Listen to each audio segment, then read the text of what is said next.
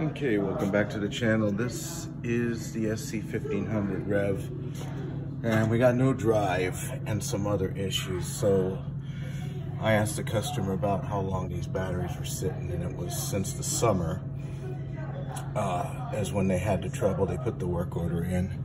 So we got about 24 volts, but this thing hasn't been charged in some time. So I do have enough voltage to get the control to uh, turn on.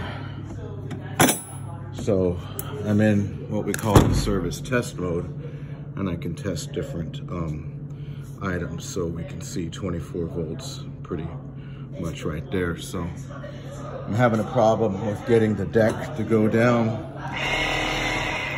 That's the uh, pad motor.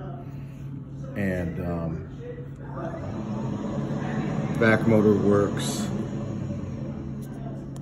And so right now,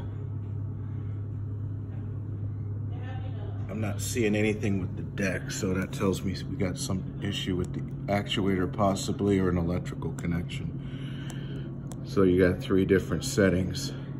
Right now it's set at high, uh, up, vac is low, and um, that's actually scrubbing right there. So we have some control, but I'm not getting any feedback because of the things that are not working.